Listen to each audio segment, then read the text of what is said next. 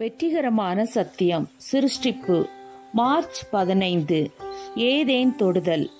அப்பொழுது தேவன் தாம் உண்டாக்கின எல்லாவற்றையும் பார்த்தார். அது மிகவும் நன்றாயிருந்தது. ஆதியாகமம் ஒன்று முப்பத்தி ஒன்று. துபாய் அதிசய தோட்டத்தில் அறுநூறு லட்சத்துக்கும் அதிகமான பூக்கள் உள்ளன. அது மட்டுமல்ல அது வெப்பமான வறண்ட பாலைவனத்தில் உள்ளது. அத்தோட்டம் இரண்டாயிரத்தி பதிமூன்றில் திறக்கப்பட்டது. ஒவ்வொரு ஆண்டும் பதினைந்து லட்சத்திற்கும் அதிகமானோர் வருகிறார்கள். பேருங்காடிகளையும் கான்கிரீட் கட்டடங்களையும் பார்த்து அழுத்தவர்களுக்கு ரெண்டு லட்சத்து ஐம்பத்தி எட்டாயிரம் சதுர அடியில் அமைந்துள்ள அத்தோட்டம் அமைதி தருகிறது.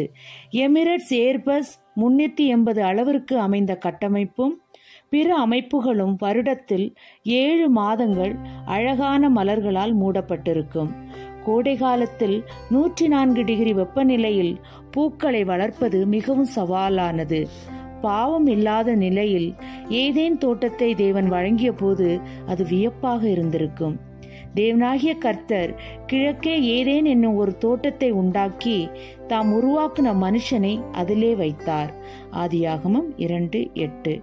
நம்ம எல்லாருக்கும் ஒரே பிதா இல்லையோ? ஒரே தேவன் நம்மை சிருஷித்ததில்லையோ? மல்கியா இரண்டு பத்து. அனைத்து மனிதர்களும் உடன் பிறந்தவர்கள்.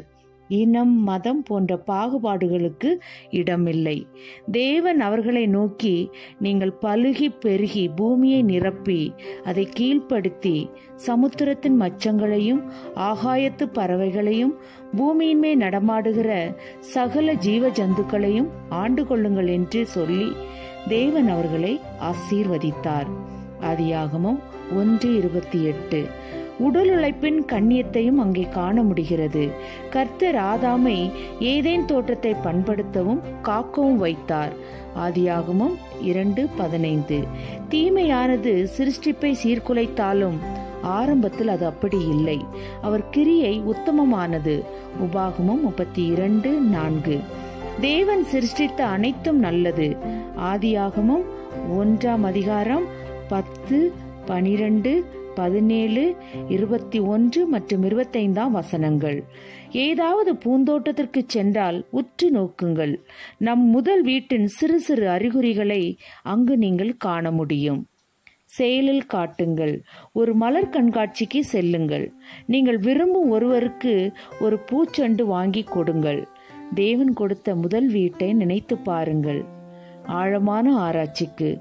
யோபு பனிரெண்டு ஏழு முதல் பத்து வரை உள்ள வசனங்களும் சங்கீதம் இருபத்தி நான்கு ஒன்று கொலோசெயர் ஒன்று பதினாறு மற்றும் பதினேழு வசனங்களும். ஆமேன்.